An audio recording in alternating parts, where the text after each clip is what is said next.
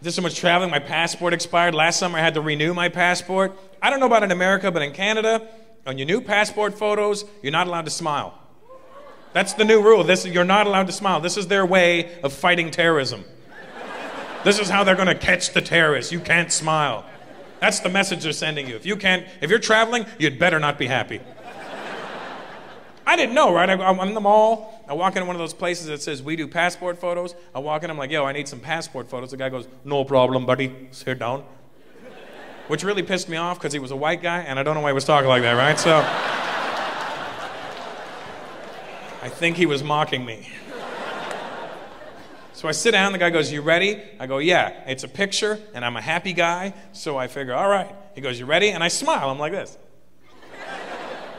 The guy goes, uh, Sir, sir, your lips need to be touching. All right.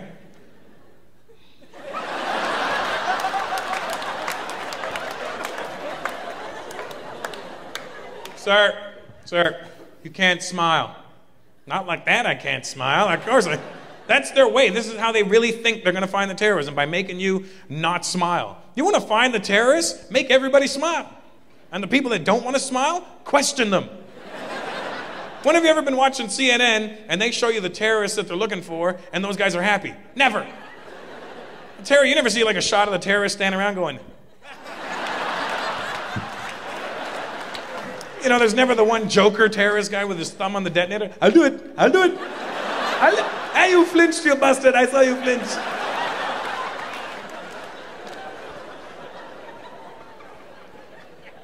So I wasn't allowed to smile. So now, if it wasn't bad enough being a brown man going through the airports, now when I give them my passport, I look pissed off. My picture of my passport's like this. They get my passport. No, Mr. Peters. Step this way, please. a few words with you. It's hard, man, because security at the airport, customs, immigration, they really need to learn the difference between a terrorist and an Indian. We're not the same. We're not. We're not from the same part of the world. We don't speak the same language. We don't eat the same food. We don't even hate the same people. Terrorists hate Americans. Indians hate each other.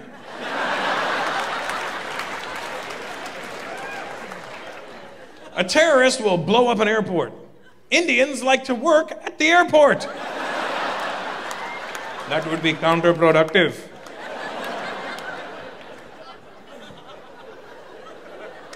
And I know a lot of white people are nervous about flying nowadays, and I understand to a certain degree, but I had one white dude come to goes, No, man, I don't fly anymore. You never know when shit's gonna go down up there. Like, what? Nothing's going down up there, dude. Yeah, well, you never know. And I, I, understand, you know what I mean? You're a little panicked a little bit. But think about it reasonably, you know what I mean? Think about it logically. Think about what airline you're getting on, where you're getting on the plane, where you're flying to, you know what I mean? That all factors into your whole terrorist theory. I was on a JetBlue flight. See, JetBlue is funny enough. I was on a JetBlue flight from Buffalo, New York to LaGuardia. It was like a 30 seat plane.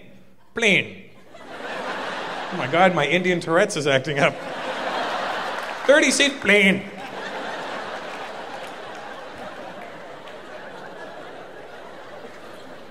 We all go through it.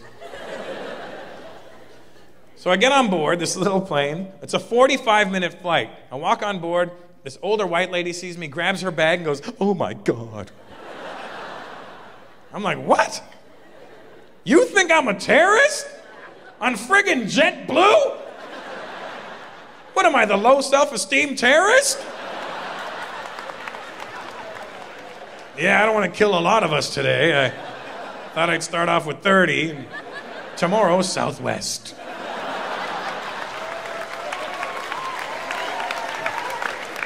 Just think about it logically, you know? I remember I was on a flight like two weeks after 9 11. I sat down beside this white guy, he almost shit his pants. I sat down, the guy's like this.